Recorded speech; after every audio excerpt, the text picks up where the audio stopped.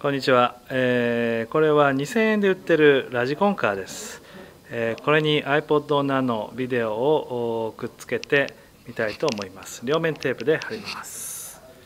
よいしょと。これで、えー置いてみます。それではバックさせます。スタート。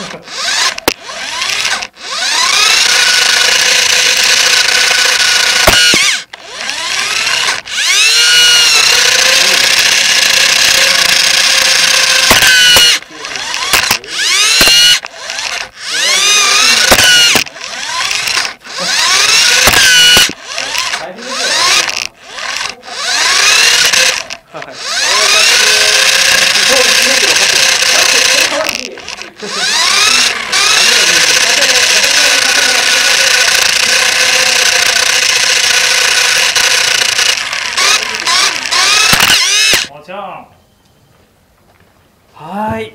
以上やってみましたでした。